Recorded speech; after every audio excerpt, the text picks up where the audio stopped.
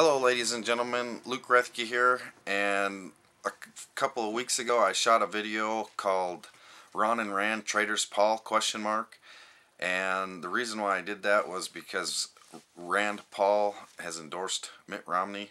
Uh, that's probably not news to very many people I wouldn't think but uh, and then about a week later which has been about a week ago I suppose uh, Ron Paul said that he was definitely not going to follow suit, that he did not support Mitt Romney, and he seems like he's he's going to keep doing the same things. Well, at least tell, at least probably tell the tell the election. Tell he's probably going to retire after that, the way it sounds.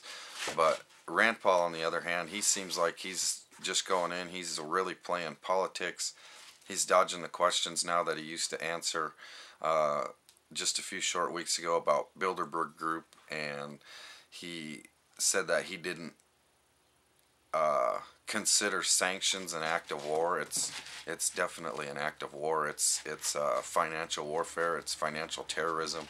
Uh, people people die and starve because of that, and he didn't want to admit that. So I really don't don't uh, have too many good things to say about him. Uh, he, he seemed like he was propped up when he did the endorsement, uh, which makes it even worse. I mean, he's not even he's not even really speaking from the heart. He's just he could have been reading a teleprompter for all I know, uh, but something didn't seem right there.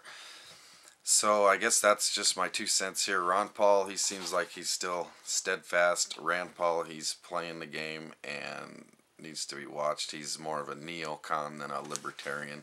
So anyway, this is Luke Rethke. Thanks for watching and have a great day.